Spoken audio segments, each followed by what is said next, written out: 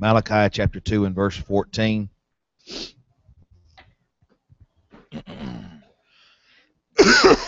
Excuse me, I've got a little cough this morning. All right. Malachi chapter 2 and verse 14. So glad to see all of our guests here today. If you are a guest, we're very honored to have you in the house of the Lord with us today. Uh, Malachi chapter 2 and verse 14. Yet ye say, Wherefore? Because the Lord hath been witness between thee and the wife of thy youth, against whom thou hast dealt treacherously. Yet she is thy companion and the wife of thy covenant, and did not make her one Yet had he the residue of the Spirit. and wherefore one, that he might seek a godly seed, to raise up godly children. Therefore take heed to your spirit, and let none deal treacherously against the wife of his youth. The purpose of God is the family. And the purpose of the family is to raise up godly children.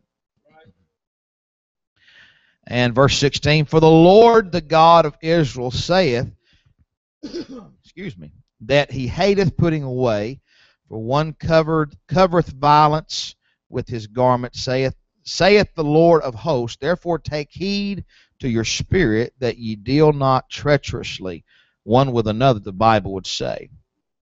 The Bible, the law can be consumed up in, in two statements, the law and the prophets. Thou shalt love the Lord thy God with all thy heart, with all thy soul, with all thy might, with all thy strength. And the second is like it, the Apostle Paul said, namely this Thou shalt love thy neighbor as thyself. God does not like it when we deal treacherously one with another. God does, and by the Bible says, a false weight is an abomination unto the Lord. To be underhanded or sly with one another God hates that. God hates when we use or abuse or misuse one another. God doesn't find pleasure in that. God says those who want to lead in His kingdom must be the servants of all. In the world, it's totally different. When you're the head, you're the boss. But in the kingdom of God, when it's totally different, when you're the head, you're the servant. In the kingdom of God, preachers, listen to me, young preachers, listen to me. In the kingdom of God, you can't lead anybody who does not willingly want to follow. God does not want us to manipulate people, connive people, drag people, or even beg people. God is only looking for the willing and obedient. He's not looking for anybody else. If you've got to be dragged to heaven, you won't go to heaven. Because I promise you, God is not going to drag you to heaven. He won't drag me to heaven. Jesus walked this earth for three uh, many years, but three and a half years of ministry, and he walked by people all the time and kept right on going. And they needed him, though they didn't know they need him. But I never one time finding him stopping begging anybody to follow him. He don't beg folks to follow, Malcolm. When, when, when people left, Jesus turned to his disciples said, You guys want to leave too? Because he's not trying to pull you to heaven. If Calvary and the blood of Jesus is not enough to wake us up and realize we can go to heaven and how good God's been to us, we're in trouble.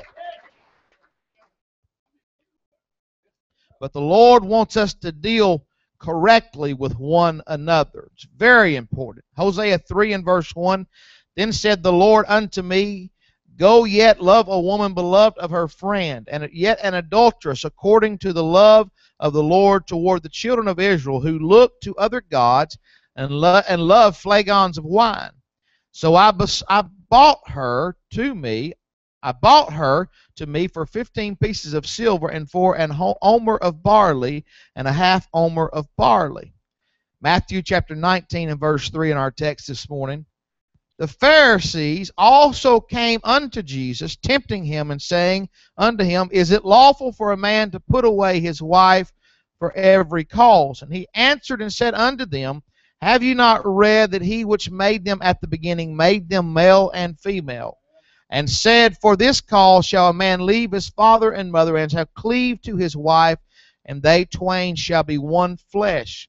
Wherefore they are no more twain, but one flesh. What therefore God hath joined together, let not man put asunder. Skipping down to verse 9.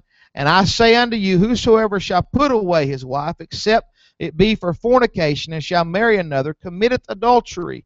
And whosoever, marrieth her which is put away doth commit adultery. Jesus was strong on this marriage thing because the marriage is the foundation of the family. It's the bedrock. And Jesus said, The gates of hell shall not prevail against the church. So the devil knows he cannot defeat the real church. He can defeat the fake church. Can I share with you this morning? Anytime you find a fake, there's a real. People say, well, there's fake speaking in tongues. Yeah, that's because there's a real. If there wasn't a real speaking in tongues, there would not be a fake speaking in tongues. Say, well, I don't believe that. Well, let me prove it to you then. If somebody hands you a $3 bill this morning, they hand you a million dollars in $3 bills. What can you buy with it? Go to Walmart with a $3 bill and try to try to buy something. They'll laugh at you hideously. You can't deceive somebody with something that doesn't exist. Sure, there's fake holiness, but fake holiness proves there's real holiness. The devil wants to get us so consumed with the hypocrites and the fakes and the phonies until we neglect the real.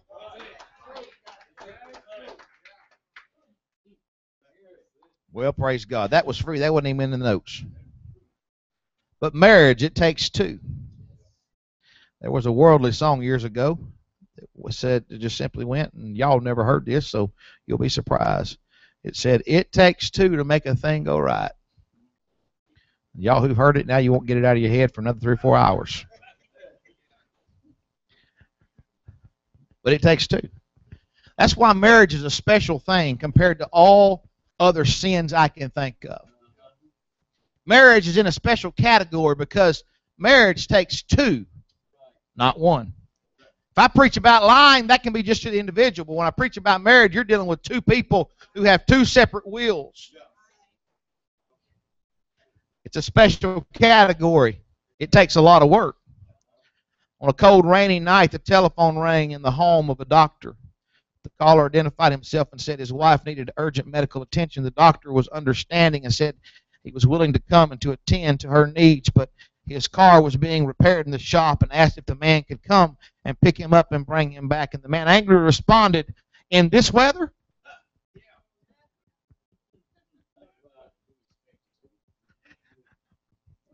Commitment probably can't be measured too well in good weather. When the bank account is full and the kids are behaving and everything's going great, that's not a good measurement of commitment. Commitment is when the guns are blazing and the commander says, go forward. That's when you know if you're committed or not. I watched those those films, especially on Memorial Day, those films of those people who am I in trouble? Okay, I don't want to be in trouble.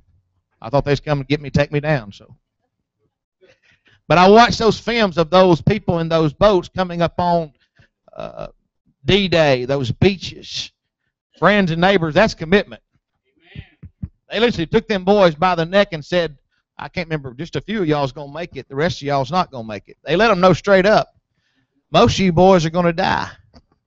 Now, go, go do your job. That's commitment. But we have to be committed to one another. We have to have commitment. Marriage is not about love. Marriage is about commitment. Everybody say commitment. commitment. Commitment's a two-way street, though. I always get upset with people who wonder why the pastor never calls them. And I'm thinking, I don't think you've ever called me. It's that phone works both ways. They're upset because the pastor didn't do X, Y, and Z, but they never do X, Y, and Z. We're playing lolly games up here. We got it? All right. Praise God. Now can y'all hear me? Thank you, Brother Norwood. Commitment probably can't be measured in good weather. This is certainly true in marriage. When the bills are all paid and the roof is not leaking and both spouses are communicating correctly, the family home is running like a well-oiled machine. It takes very little commitment to make marriage work. and it's amazing how people will say things like, "Whoa, God sure is good to me," when everything's going great. But then when they can't pay their bills, God sure hadn't been very good to me. That's a lie. God is good to you when you can pay your bills, and God is good to you when you can't pay your bills. But we like to blame God for the messes we get ourselves into. God always seems like a good option. It's God's fault that I don't have enough money. It ain't my fault for eating out all the time. It ain't my fault for having 250 channels on my TV that I pay for. It ain't my fault that I got the newest iPhone. That's God's fault. That ain't my fault. Well, that was free too. But when everything's going great, it's it's it's wonderful. It takes a little commitment to make it work. But when the storms arrive, and they are going to arrive, that is when our commitment will be tested, and it will be tested. Your commitment to God's going to be tested. Let me promise you, Brother Malcolm, you've decided to live for God. You're going to have times when God pulls back from you. And you're going to say, Where are you, God? There's a reason God pulls back from us. He wants us to grow up.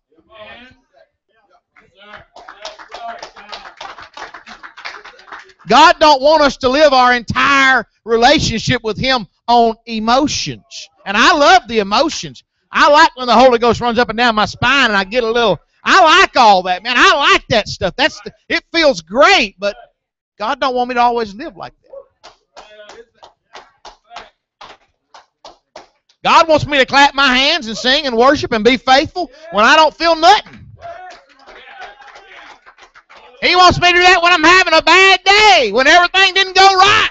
When I got up on the wrong side of the bed, God still wants me to be faithful to Him.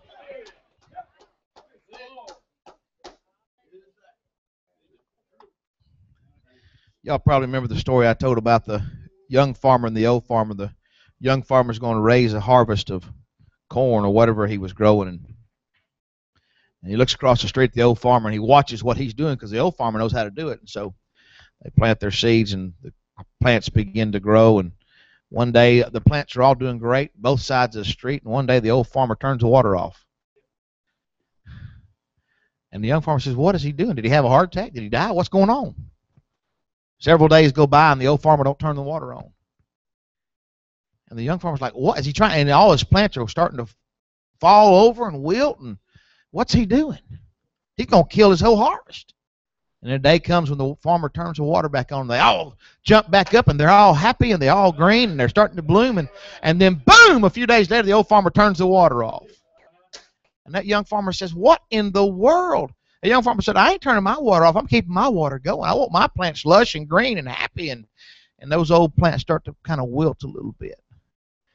And the day comes, he turns the water back on, they come back up. He does this again. About the third time, that young man said, I can't stand it. He goes across the street knocks on the door says, Sir, you've been doing this a long time. Why, why do you turn the water off? He said, Young man, what you don't understand is that if I always give them water on the surface, they'll never dig down. And if they don't dig down, when a storm comes and when the wind blows and when there's bad times, the storm will take them out. Yours might be lush and green, but they have surface value.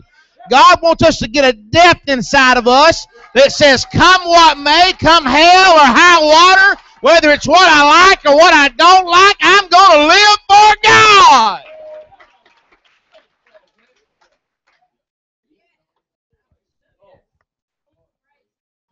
Somebody say, Praise the Lord. Commitment. It is vital that the church do what it can to maintain the integrity of our commitment one to another, and especially in marriage, that we keep a commitment that we have made. The quality of our marriage directly impacts the level of our spirituality. That's true. We're going to be affected by our spouses. But let me tell you this as a word of, of, of encouragement. that if you're doing what you're supposed to do, you're right with God. Because I cannot control somebody else. If somebody else is acting up and misbehaving and not doing what they're supposed to, they're wrong with God. But you have to do what you're supposed to do. Let me let me share this with you. There's two. What comes to my mind when I'm studying this. There's two primary reasons I feel that we have trouble in marriages. Number one, the man does not lead or leads incorrectly. That's number one. Number two reason, the woman does not follow or follows incorrectly. If you use subversive tactics to get back at them, but much of man's sin is is manifested in the attacks we have one against another. We attack one another because of our own sin problems and our own personal ambitions and our own personal pride.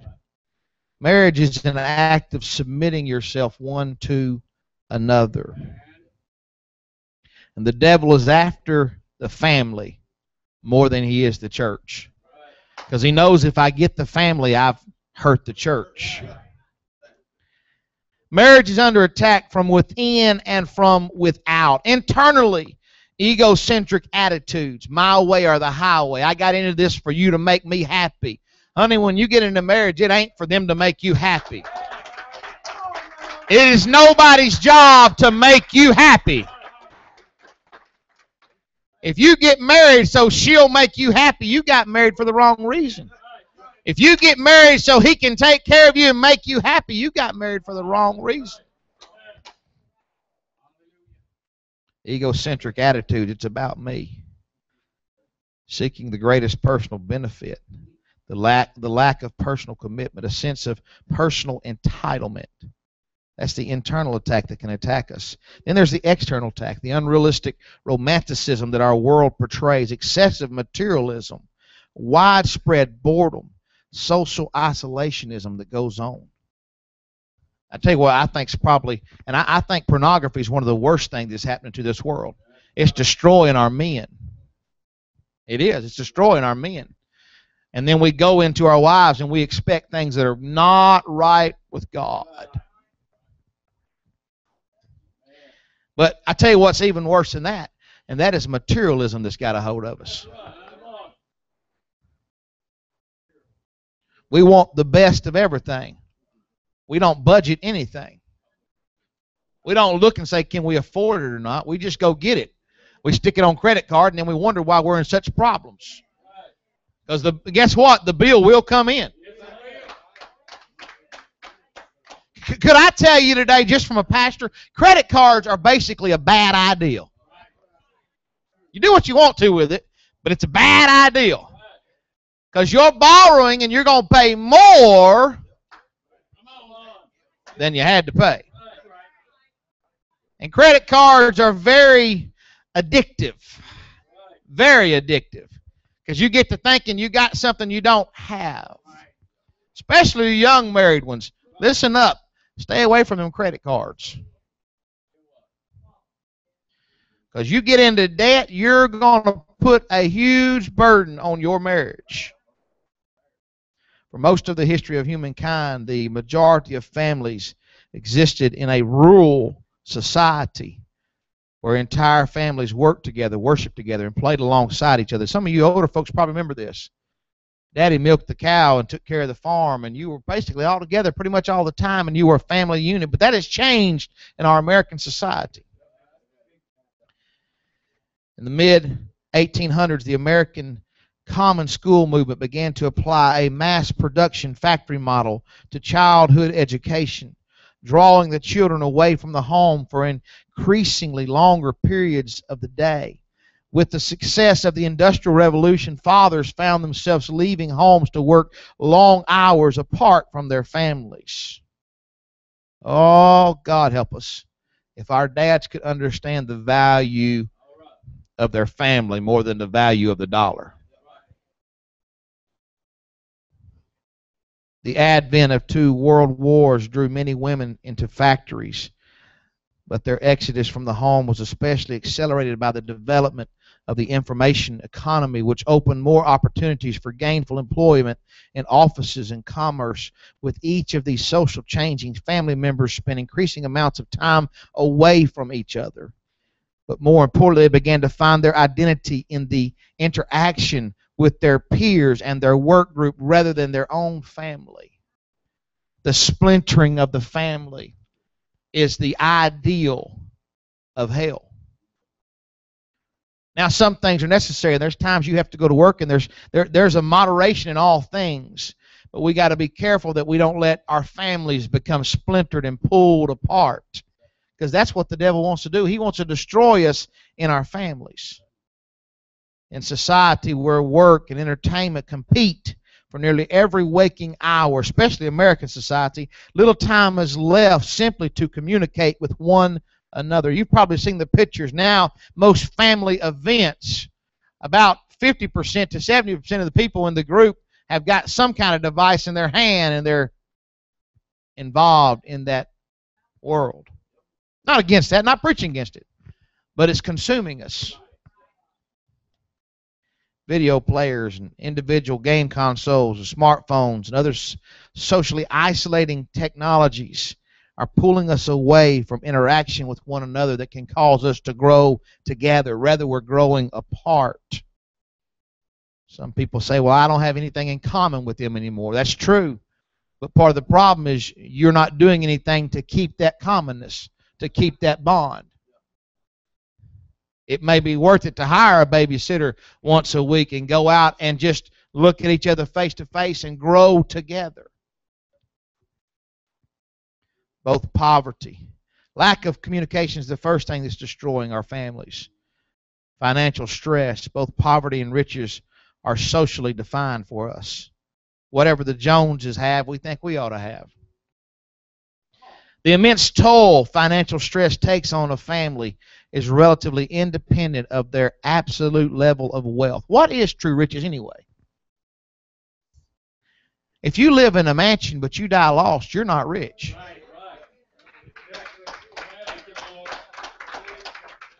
I, will make it even worse than that. If you got lots and lots of stuff you like, you got your bass boat and you got your and you got all this stuff, and you stand in judgment with your kids and they're not saved.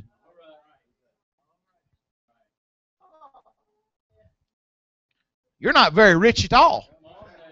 This world is trying to convince us that something that's rich is really not. If you're rich toward God, you're rich.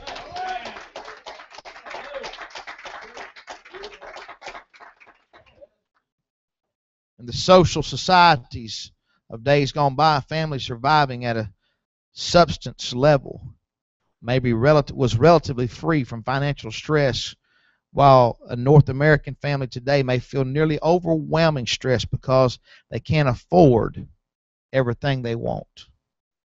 We are being bombarded, folks, from every side by marketing and buying, and you you need this because this is better than that. The family down the road got it, so you need it too, and it's bombarding us.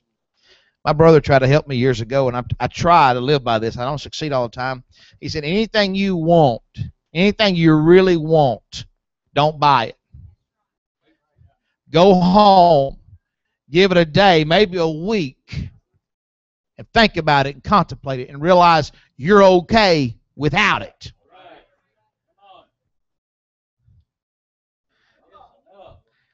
maybe you folks don't daydream like me, but I, I daydream about stuff, man. I want I want to own hundred acres where I can shoot my deer.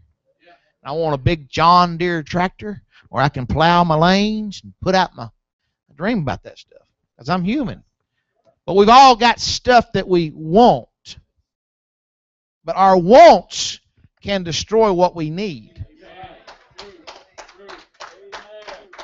We got to be very careful that we understand there's a trade off in everything.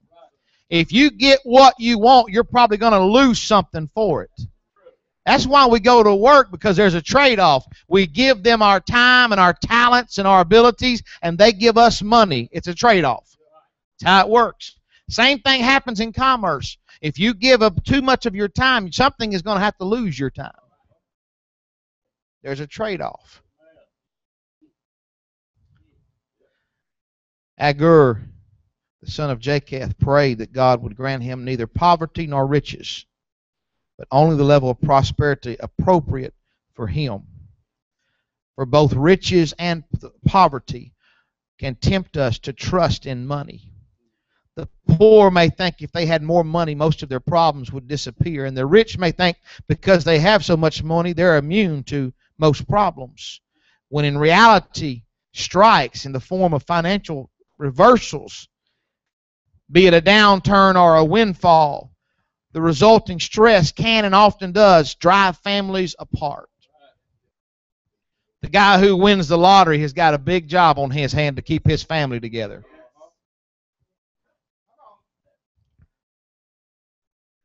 Because he, he may lose what's more important than money.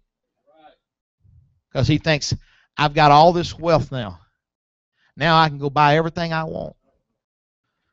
Now I can forsake all of my commitments. Now I can do what I want to do. I can't remember the statistics right now of those millionaires who commit suicide. A lot of them do. Because they finally realize money is not giving me what I really want. Because what I really want comes through relationships with people and the family.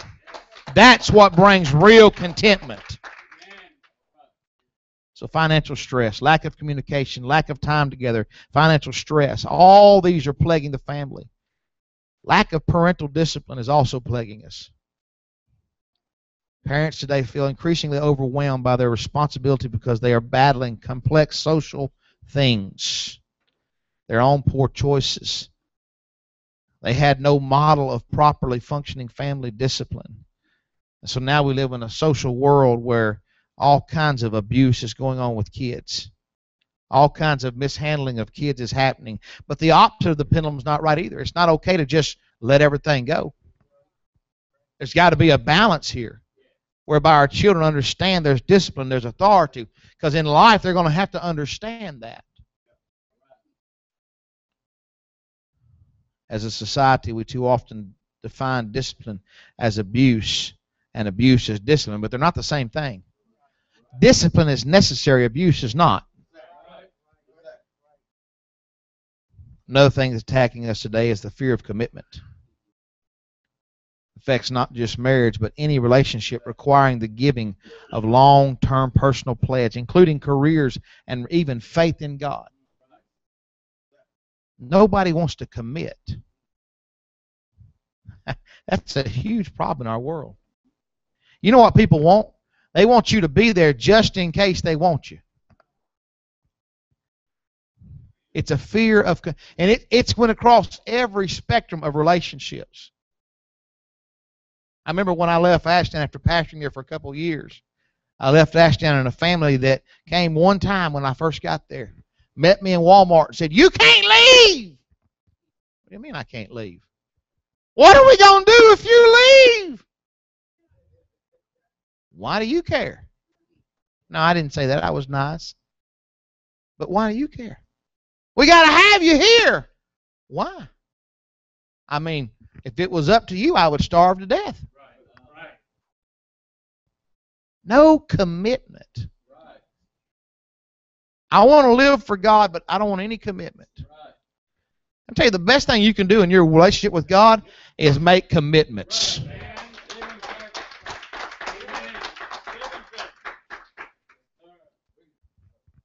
I just want God to be there just in case I need Him.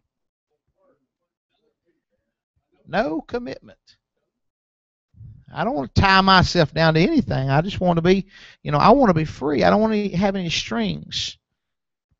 Modern young adults are increasingly suffering delayed psychological maturity, it says, and often manifests itself in the inability to make lasting commitments. And thus we have cohabitating couples living together out of wedlock. More than 60% of all young women will have lived with at least one unmarried partner before they are 30 years old according to the studies. Because cohabitation requires very little commitment. I'm just in this for what I can get. And when I get tired of it, I'm gone. Only one in five couples who start out living together will remain together for more than seven years.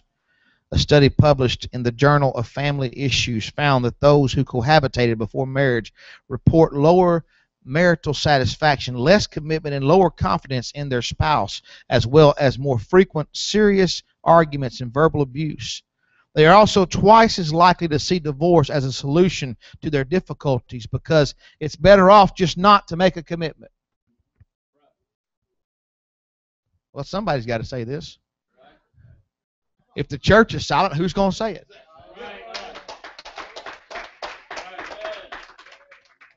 These things are hurting our children.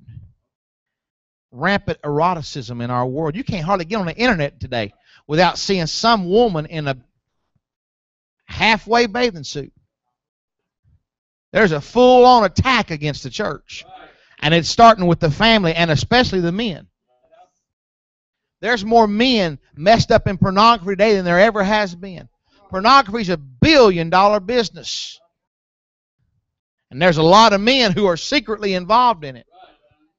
And they're wanting their wife to straighten up. No, you're the problem. You got yourself off in a mess. Well, praise God. In the 2011 National Marriage Project report, 24% of the nation's children are born to cohabitating couples, and another 20% will live in a cohabitating household. Four out of 10 children cohabitation is the model family. No commitment. We're just here if we want to be here, and if we want to leave, we will. The ideal of marriage is you've made a commitment whether things are good or things are bad. You're just you made a commitment. Children living in cohabitating households are far more likely to suffer physical, sexual, and emotional abuse, according to the National Incidence Study of Children Abuse and Neglect, thus causing them untold grief and suffering and often planting in them a negative sense of family life, which God wants us to have. Now, most societies go through a number of pendulum swings, a long slide into cultural decadence that glorifies eroticism as the ultimate good. Porno- pornography become, has become mainstream in our world. Disturbing materials become widespread. Deviant sexual activity becomes acceptable and even somehow heroic. This is an attack against the family. Numerous studies confirm that repeated exposure to pornography distorts perceptions about sexuality, decreases the desire to have children, devalues the importance of monogamy, and raises doubts about the value of marriage and decreases satisfaction with one spouse. It's the ultimate attack against the family. It's the attack of this. The man wants what he wants, and the woman feels pressured to do whatever it takes. That's not of God. That's not of God. Marriage is on a thre- is threatened from all sides today. The average age of first marriage has risen from 20 to 26 for females and from 23 to 28 for males. Why is this happening? Because cohabitation has become the norm. Because we had TV shows like Friends, Oh, I know I'm not supposed to talk about that. But this is the house of God. In this house, God's opinion is the only opinion that really matters. And God's not going to change his opinion because it offends me or it offends you. You know, God don't just have laws, he has opinions.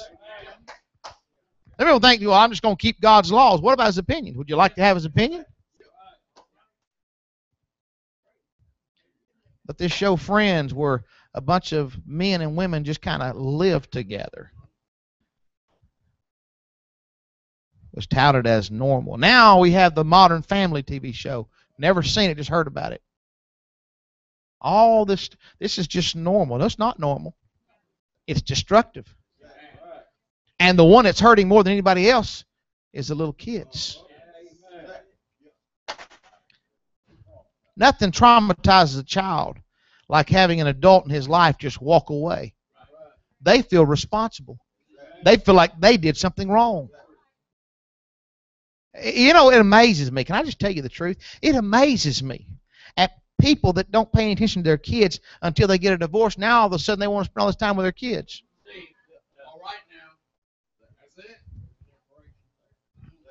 Man, if you'd have spent more time with them while you were still married, you might still be married.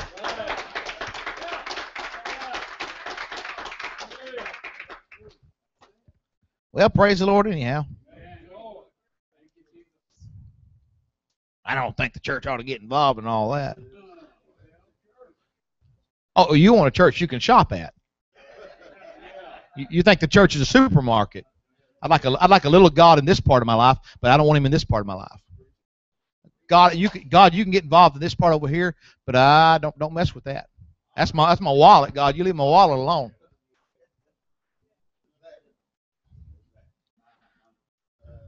We need God involved in every part of our life.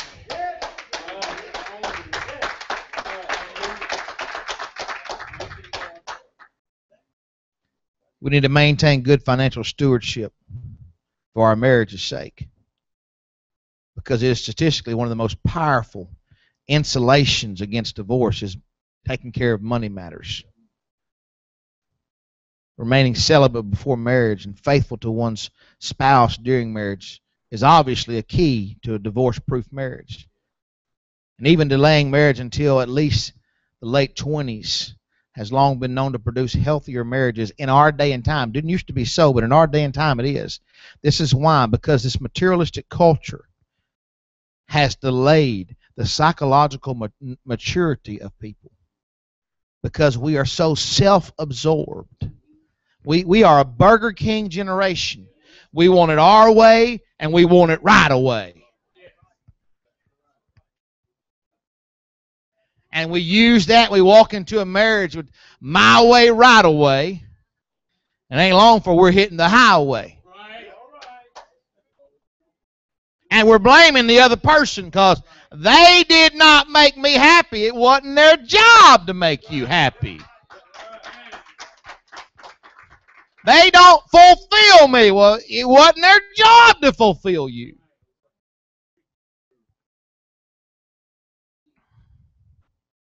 What we ought to ask ourselves is, am I doing everything I can to benefit them?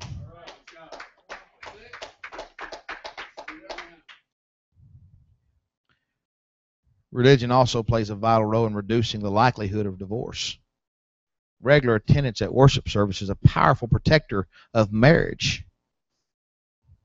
Now, let me just get on to us Pentecostals for a few moments. Out of all major Christian groups, the most likely to have been divorced are Pentecostals. 44% of all adult Pentecostals have been divorced, a rate much higher than the general population. Now, before you get too hard, there's a spiritual warfare going on. Let us understand that when you get born again of water and spirit, there's a target on your back. Yes. Because if the devil separates Bonnie and Clyde out there who are committing murders and robbing banks, he hadn't hurt the church. But if he can separate the brother Doug and Jan, now he's affected the church.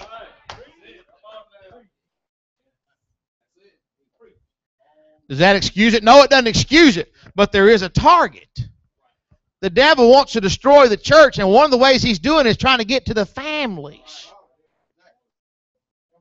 As bad as this sounds, I have an understanding of why this is happening. The devil's after us.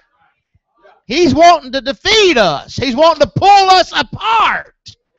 Because if he can get us apart and divided, he can defeat us. But if we stay united, he can't defeat us.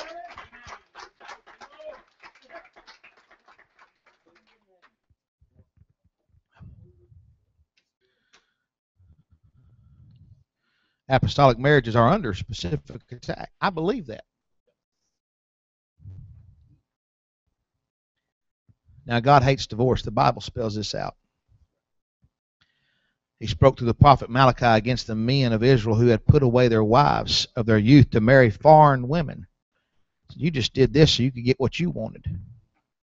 God told them the tears of their wives they had defrauded by such clamorous disregard, drowned out their prayers, so he would no longer receive their offerings at the altar in Malachi 2 and 13.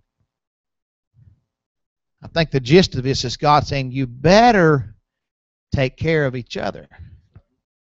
You better be concerned one for another. How we treat each other is a direct reflection of what we think about God. You can't be right with God and treat everyone else wrong. If your wife is not happy with you, you need to go home and get that straightened out. If your husband is not happy with you, you need to go home and get that straightened out. Or at least get busy working on it. You ought not say, oh, it don't matter anyway. I'm going to do what I want. Well, God's not going to be happy with you. Divorce results from the hardness of human hearts. It is a result of the sin nature. And let me remind you, it takes two. If one's doing all they can, the other won't, won't get on board, there's a problem. Do what you can. For the law is fulfilled in one word, even this thou shalt love thy neighbor as thyself. Galatians 5 and 14. All human social interactions are guided by covenants. We have laws and constitutions and licenses and contracts. We get into covenants with one another, and the Bible wants us to keep our word. And the government exists to promote justice, order, and protection for the innocent and punishment of the guilty.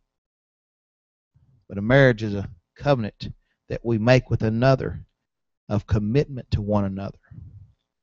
But it takes two. I can't stop saying that. It takes two.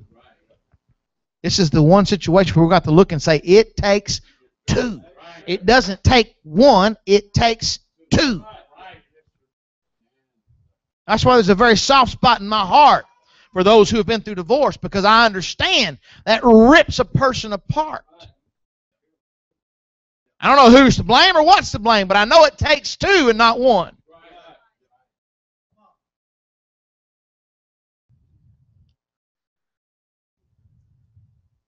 But marriage is important to the church. It's the bedrock of our next generation. It's the heartbeat of us raising up godly children. And we need to protect it the best we can. Let me close with this. Put that aside just for a moment. Because I dare not teach this lesson without adding this God will forgive. And if God will forgive, we ought to forgive too.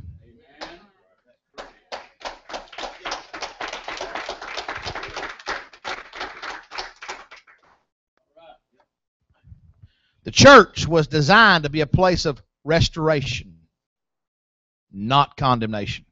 I'm going to say it again. The church was designed by God to be a place of restoration. The devil's doing his dead level best to beat people up. We ought not help him. Psalms 103 and 8 The Lord is compassionate and merciful, slow to get angry, and filled with unfailing love. He will not constantly accuse us, nor remain angry forever. He does not punish us for all our sins. He does not deal harshly with us as we deserve. For his unfailing love toward those who fear him is great as the height of the heavens above the earth. He has removed our sins as far from us as the east is from the west. The Lord is like a father to his children, tender and compassionate to those who fear him. For he knows how weak we are and remembers that we are only dust. Thank God he realizes that. Isaiah 43 and 25. I, even I, the Lord said, am he that blotteth out thy transgressions for mine own sake, and I will not remember thy sins. God is a willful forgetter. Too often I've seen churches that are willful rememberers. Who does she think she is getting in that ministry? What are they doing lifting their hands? I know what they did. I tell you who I'm worried about. It's the person back there saying, who do they think they are? That's who I'm worried about. I don't want to be that person when God designed us to be restorers. Hebrews 8 and 12. The Lord said, I will be merciful to their unrighteousness and to their sins and their iniquities. I will remember no more. He puts them away. I want you to get this Romans 11 29. For the gifts and calling of God are without repentance. That means if God gives you something and you fail miserably, He won't take it away. But we will. Well, she can't. She can't do any. She can't do anything for God anymore. Look at what she's done. He he, can't. No, he God can't use him anymore. Look at all the failures. No, no. Now I believe it's a time of restoration where we come back up and God helps us. Where, but I don't believe God takes away His gifts and callings because we've made a huge mess. You know why we want that in the church? Because we're self-righteous. Yeah, yeah. Well, he's been divorced 20 times. I have never been divorced. So, preacher, preach to him.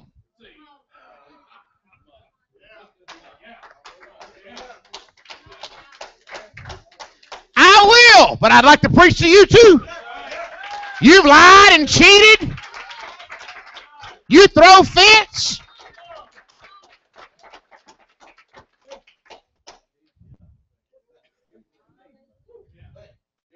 Don't God hate divorce? Yeah. He also hates a haughty look. He also hates a lying tongue. He also hates those who sow division among the brethren. He hates that too. We don't need to categorize these things so that we can exalt ourselves. Well, praise God. Bible says the Lord is like a father to his children, tender and compassionate to those who fear him. So God don't take away his gifts and callings because someone messes up. Somebody said, "Well, they can never be used of God again." You're you don't know. You have no idea. If God forgives them and removes their sins as far as the east is from the west, who are you to decide if they can or can't be used of God again?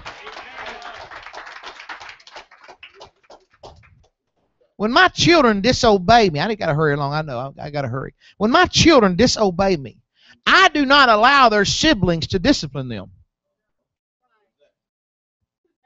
Did y'all catch that? When my children disobey me, when, when Skylar does something wrong, and Abigail starts saying, Sky, I say, whoop, whoop, whoop, whoop. Hang on. Daddy will take care of this. You stay out of it. I got it. We got to be careful we don't take the Bible and get to cutting each other unnecessarily. When they disobey me, I don't let their siblings discipline them. God knows how to discipline his children. And if they are born again, they are his children. And I promise you, he wants to get his children back. He's not wanting to throw away his kids. God don't say, well, I'm just going to throw my kids away. I'll go get me some kids over across the street. He wants the kids across the street, but he also wants to redeem his own. The Bible says, if we sin, we have an advocate with the Father, Jesus Christ the righteous.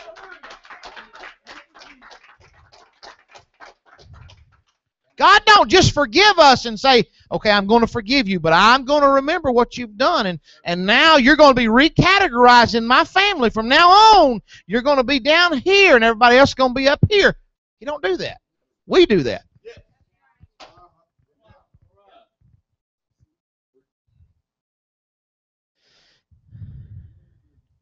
Well, praise God.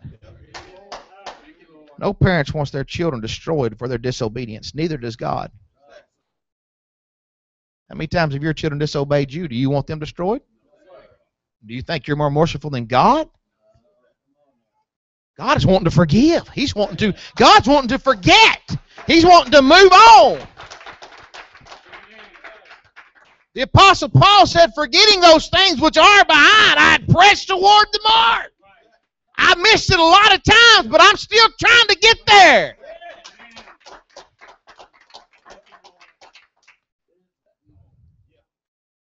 God doesn't want us wallowing in our past sins, but it seems to me that sometimes we want each other to wallow in our past sins. Well, who else committed adultery? Well, the Bible says everyone who's looked at anybody else to lust. In my opinion, that would be everybody in this room.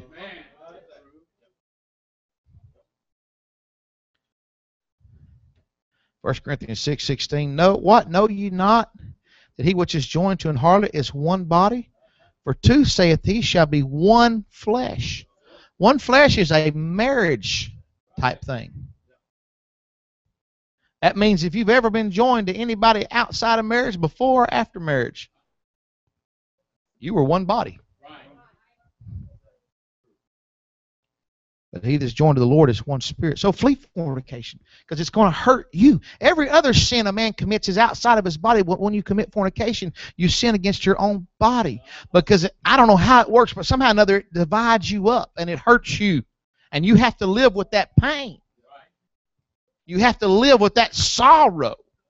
And for goodness sake, you don't need the church there reminding you of all your failures. Now, the church is to stand against sin, but also we are the ones who are to restore those who repent. We're not here to qualify or disqualify who can be restored and who cannot be restored. We're not here to qualify who God can use and who God can't use. We're not here to have rank and file over one another of who's more important or who's been more perfect or who's committed less sins than the other. Let me tell you something. If you ever committed one sin, you're not going to heaven without the blood of Jesus.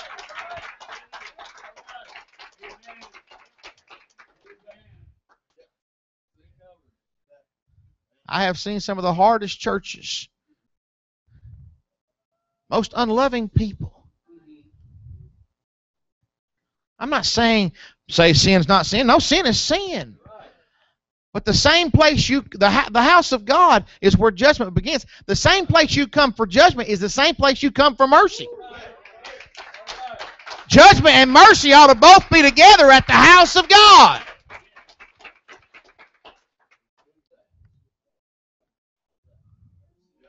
Preach against all those sins I haven't done, preacher. Get after them. Or at least the ones I don't think I've done. We need to be like the Apostle Paul. When he categorized himself with sinners, he said, I'm the chief of sinners. Think about that, Malcolm. He wrote 13 books of the New Testament, and he said, if you're going to put me in the category of sinners, I'm the worst one. He said, do you want to rank me with the saints? I'm the least of the brethren.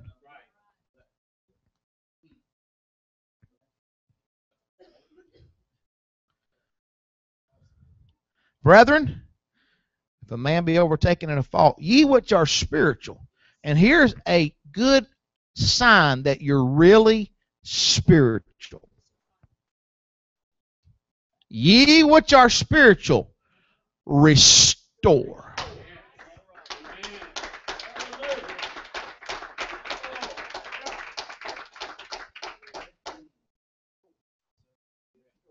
Judgment begins at the house of God. It's true. This is not where siblings squabble and fight and beat one another up. This is where the Word and Spirit of God deals with the hearts of men and women, and they get right with God, and we restore them back in, and God says, let's move forward.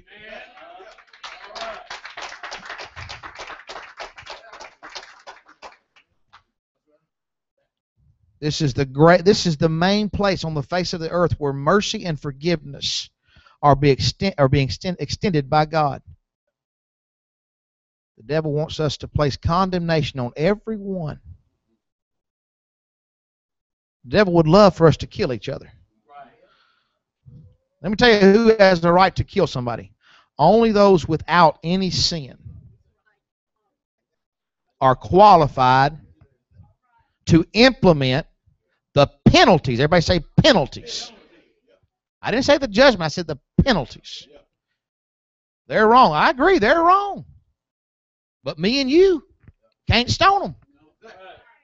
Because guess what? We're wrong too.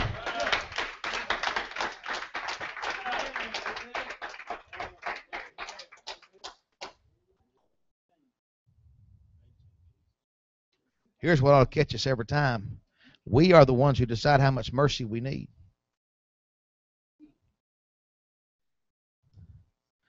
Let God discipline his children. Let God deal with it.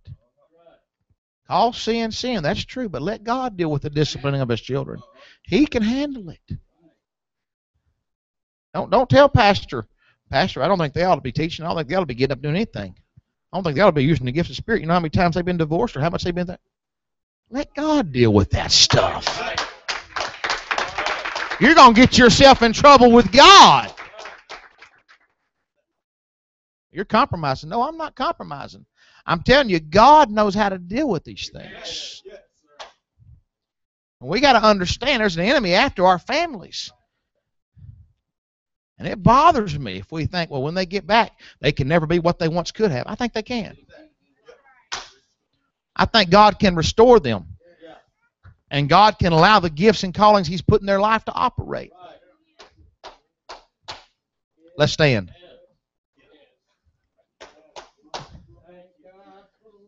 Marriage is a commitment, something we ought to highly value. And we ought to spend a lot of time looking after it and making sure we're doing what we need to do before God to assure our marriage is healthy. Because if we're in marriage and we're not looking after our marriage, we're probably not right with God.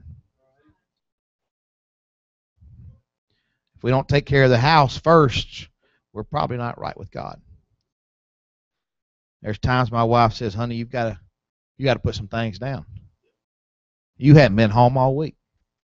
You got three little kids." Kind of pierces me a little bit. I get to looking, okay, I got to stop somewhere.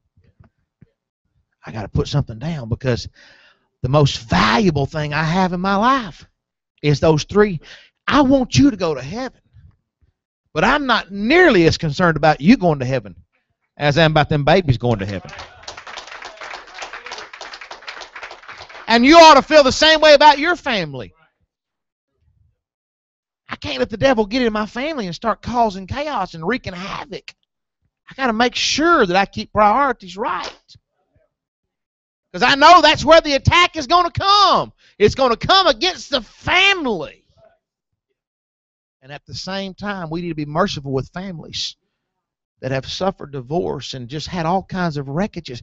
Where is the mercy of God in us? That says if God will forgive and put it as far as the east to the west, we might want to kind of try to be like Daddy. I guess my greatest fear is that we start ranking one another. That's a that's a tactic of the devil, Malcolm, to get us to start ranking one another. Well, he he got a tattoo, so he can never be used like he wants to. Wanting to get us to rank one another. Who's the greatest in the kingdom? That's the same thing the disciples did with Jesus. I want to be the greatest in the kingdom. Okay, be the servant of all. Why don't we lift our hands and ask the Lord to help us today? Father, help us.